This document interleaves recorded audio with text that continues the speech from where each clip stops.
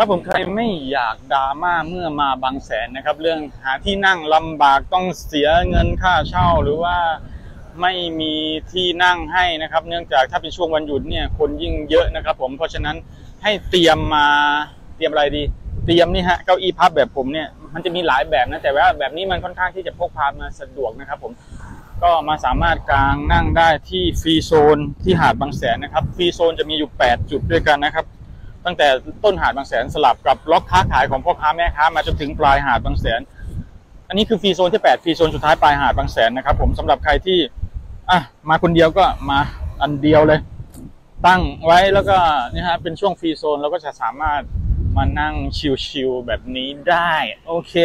ใครที่สนใจก็ไปตามที่ description ใต้คลิปนี้ได้นะครับผม